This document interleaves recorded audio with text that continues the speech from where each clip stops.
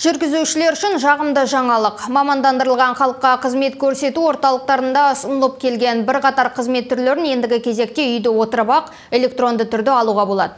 Ол үшін егов KZ сайтына кіріп қажетті нұсқауларды орындау керек. Көлігі бар тұлғаларға қатысты өзге де жаңашылдықтармен тілшіміз толығырақ таныстырады.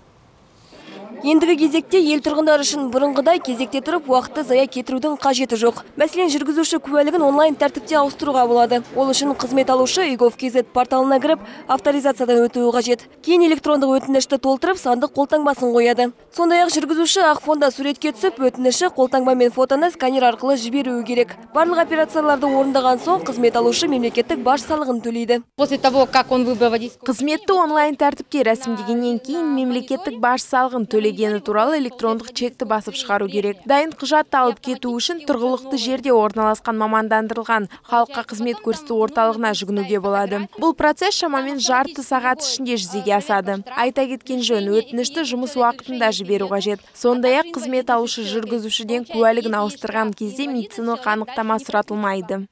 Жүргізушілер үшін тағы бір жақсы жаңалық бар. Мамырдың 26-сында көлікті тіркеу жүйесіне бір қатар өзгерістер енгізілді. Осылайша транспортты сатып алғанда не қайта рәсімдеген кезде көлікті техникалық тексерістен өткізудің қажеті жоқ. Бірақ бұл жүйе шетелден келген автотранспорттарға қатысты емес.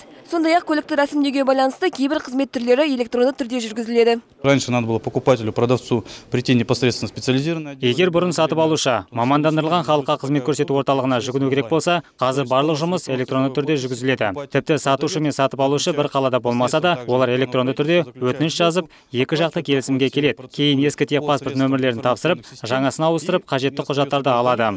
Бұл артықшылықтар солтүстік қазақстандықтардың көңілінен шығып отыр. Удобнее, конечно. Бұл өте тиімді, себебі кейбір қызмет түрлерін үйден шықпай ақ алуға болады. Намного, да? Жаңашылдықтарды құптаймыз, әсіресе жүргізуші куәлігін ауыстырғанда медициналық анықтаманы сұратпайтыны жақсы болды.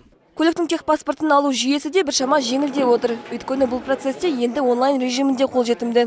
Жалпы жыл басына мамандандырылған халыққа қызмет көрсету орталығына 40 мыңға жуық желесіміз жүгінген. Олардың 10 мыңы жүргізуші куәлігін ауыстыру бойынша қызмет алыпты. Мөлдір Мақшева, Әділ Нұржанов, муниципалдық телеарна.